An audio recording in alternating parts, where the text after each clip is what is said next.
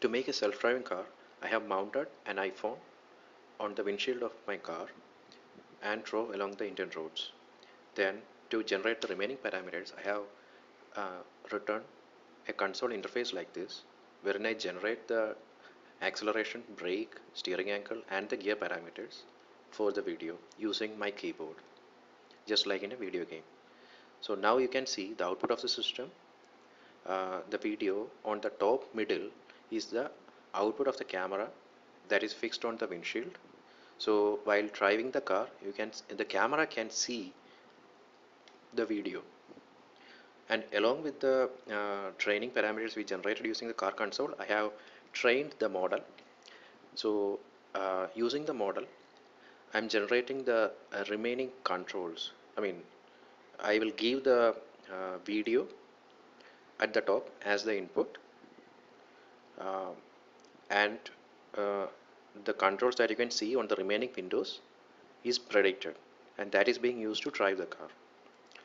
So the video on the left that is the shifting gears it is done using machine learning uh, model called uh, random forest and at the bottom you can see the steering wheel turning according to the curves of the road and it is done by deep learning. uh, using a standard NVIDIA uh, CNN architecture.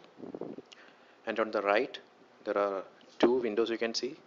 The top one is for acceleration the bottom one is for the brake. So it is basically done using uh, computer vision a concept called optical flow. Uh, in fact I uh, derived a formula out of optical flow and combined it with deep learning to predict those variables. So you can see um, all those uh, variables the driving control variables are being predicted by the system. So this will make the system fully autonomous as in the given these four controls uh, a basic uh, car can be driven along the road.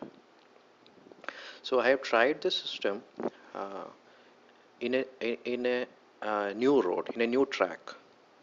That means the video on the top uh, will be new as in it is not present in the uh, it won't be present in the training data but even then the steering angle and the remaining parameters uh, are being predicted by the system correctly.